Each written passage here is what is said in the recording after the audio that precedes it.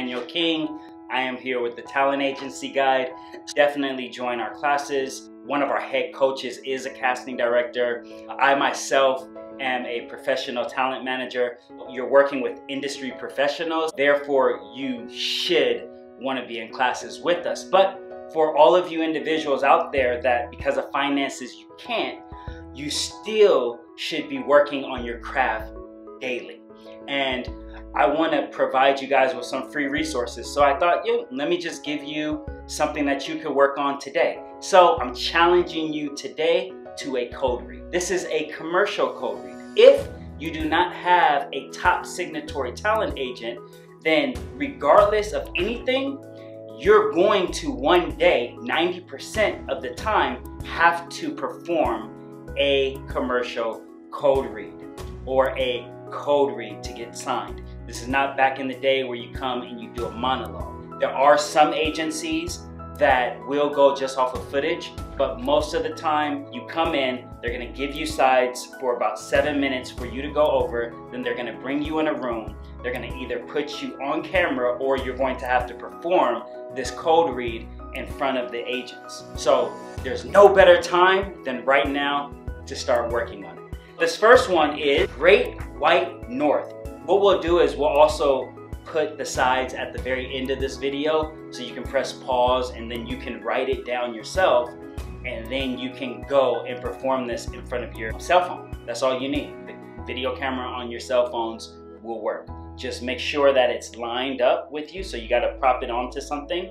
But even worse comes to worse, you have to sit on a table, then maybe bend down with the table because you want your arms to be free. There's no worse thing than going into a cold read and you're talking like this because they can get anybody to just read or you're just like this. No, they want to see life. They want to see your charisma and how are you going to be when you're out there in the real world and you're actually auditioning. So, this one simply reads Great White North, lazing around, watching television, doing homework, painting the house, whatever. It's spring break. Wouldn't you rather be dodging moguls and coasting down ski hills in Canada's Great White North? We've teamed up with our snow crazed sponsors to bring you the coolest holiday package ever. Now, as you can see, this is my first time reading this in a long time. And so even for me, it was hard to like grasp it.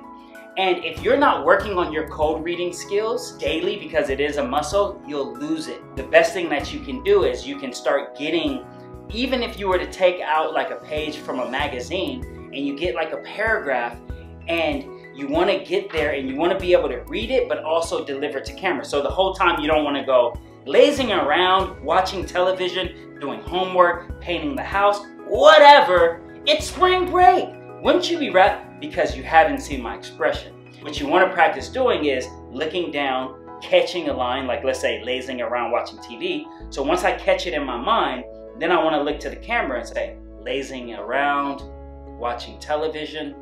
So you want to take what you're reading inwardly and then you want to try to say it to camera. Now, of course, the more words that you can say to camera, the more dynamic your cold read is going to look. But sometimes when you're only given seven minutes and you haven't worked on your memorization muscle, sometimes you will have to rely on just reading down from the sides and then lifting up. If that happens, then when you go down to read, make sure you're still using your body language. And then when you can catch a few words, then come back up to camera. Whatever you do, don't stop. Even if you mess up, because you want to train yourself so when you're in the actual situation, that you do not stop, even if you flow.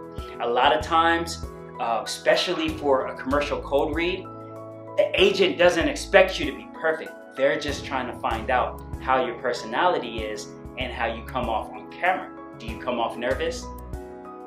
That's a big thing.